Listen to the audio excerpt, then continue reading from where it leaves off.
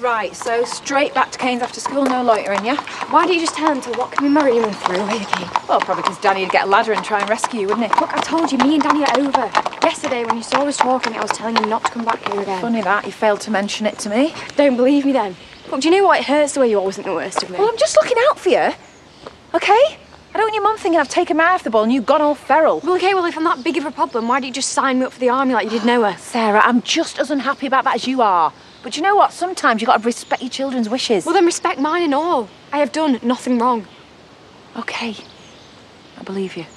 I'll get to school and I will be phoning Cain to check you've got home on time. Go on. Someone around here must know something. If they do, I'm sure they'll come forward. You and your faith in humanity. You, you were in the pub last night. Did you see anyone acting strangely, messing with my jacket? What are you accusing me of? I'm Just asking a question. Why are you getting so defensive? Look, I need to get to school. No, that, that's the same guilty look I saw on her face when the police carted me off. Oh, come on, son. Hang on.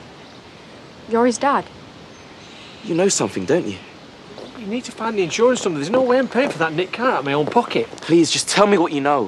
Why do you think I can help? Hang on a minute, mate. I'll call you back. Just keep looking, yeah? Problem, mate? I'm just looking for some answers. I don't know what we're talking about. How come you're still here?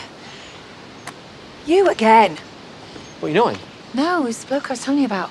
Been arrested for possession. Yeah, thanks to her. I have done nothing wrong. Then how come you're looking so shifty? Please, just tell me what you know. Hey, steady on. Just asking her a question. Can you can you take my side for once? Oh, hang on, it's your son.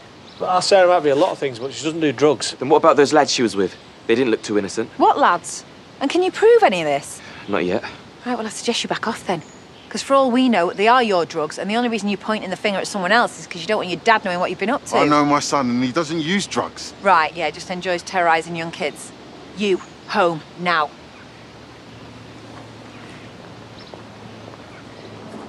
Have you got a problem, mate? I don't know. Hopefully not. What was that all about? It's complicated. Hardly. I'm being set up. This is my son, Ethan. Hi, welcome. Yeah, don't feel too welcomed. Someone around here's planted drugs on me. Really? Any idea who? Got a pretty good idea, but I ca- I can't prove anything for certain yet. There's no way I'm letting the police pin this on me. They won't. They've got no evidence. So how come they haven't dropped the case? But why do you think? Maybe you could have a word on his behalf? How's she gonna help? I'm an ex-copper.